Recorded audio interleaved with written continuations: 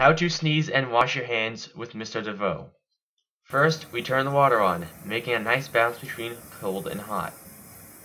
Next, put a small portion of soap into your hands. Now we gently scrub our hands. Make sure there is a bit of water on your hands to keep the soap slippery. After successfully destroying the germs, it's time to rinse, get the soap off, and dry your hands. As for sneezing, a lot of people seem to sneeze into their hands, which is wrong. Mm. To actually sneeze, sneeze into your elbow like this.